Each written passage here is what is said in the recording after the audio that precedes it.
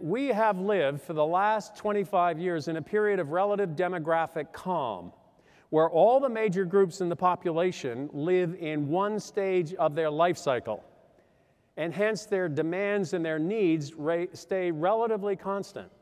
That is now about to change as three key groups go into new phases of their life cycle and patterns of demand and need are going to change. And as planners, this is something you need to take, take account of.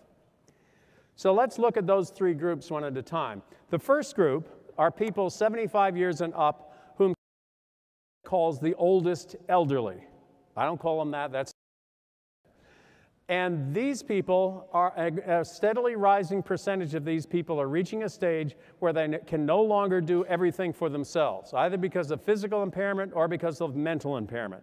And a classic example, and one is, is in my own family until she died very recently. My mother, who died at the age of 90, almost 94, uh, was still mentally as sharp as a tack.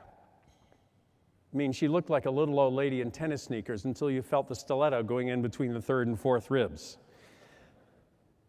mentally very, very acute, but physically not so much. She, her hearing was going, her eyesight was going, she had trouble walking. She lived in a supported living community where they cooked her meals and they cleaned her, her uh, room and they, they did her laundry and so on.